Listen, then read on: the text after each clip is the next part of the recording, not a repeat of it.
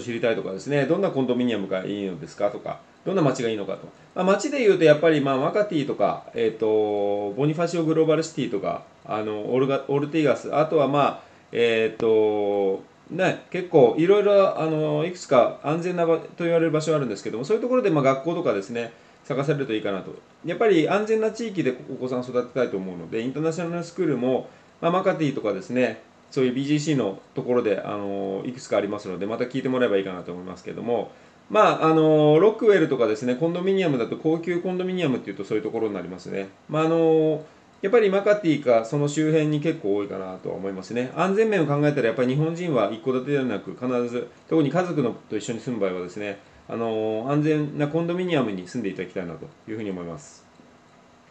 まあマニラ移住であのいろいろ失敗とかですね後悔の理由っていうのを聞かれるんですけれども不動産投資だとやっぱり